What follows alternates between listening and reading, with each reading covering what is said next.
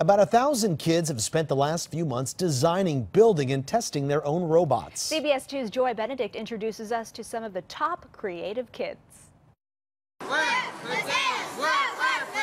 With chants and face paint, they may look like cheerleaders, but these third and fourth graders are engineers. I get to uh, build robots and program them.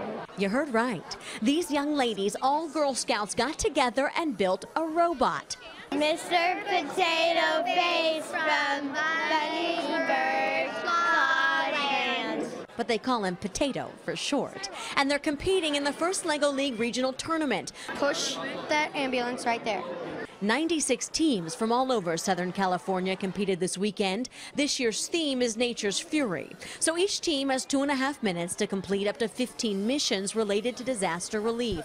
We're getting the pets to their people and getting supplies into the safe zone. It sounds complicated, and it is. But there are 27,000 teams all over the world, children aged 9 to 14 with the same game board building different robots and learning to love science and engineering.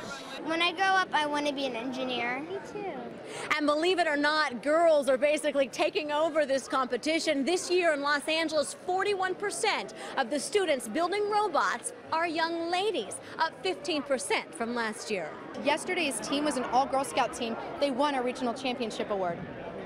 All girls making them eligible for the world competition in Spain.